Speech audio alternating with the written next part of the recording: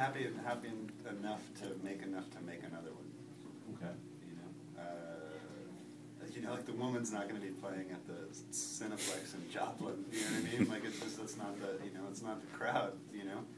Uh, but yeah, I mean, you know, maybe maybe at some point or another I'll have something, you know, that, that goes a little wider or something like that. But uh, it's it's not a goal. I mean, the goal is just to make a good piece of material and be able to look myself in the mirror every morning. Not challenging at all. I mean, the, the, the key to our collaboration is that there's no egos between us, and we trusted what he, he, trusted what I do, and I trusted what he does, and we played to our strengths, and we learned a lot of stuff from each other, and uh, and he took me into areas that I wouldn't naturally go myself, and, and I, I him, you know. Uh, and uh, it's funny that you know once we started showing the movie, I was being called by you know at the same time I'm being called a feminist and misogynist, you know, because the movie just it doesn't. It, I tried not to have the movie tell you what to think. I wanted it to show you something and let you interpret it in your own way.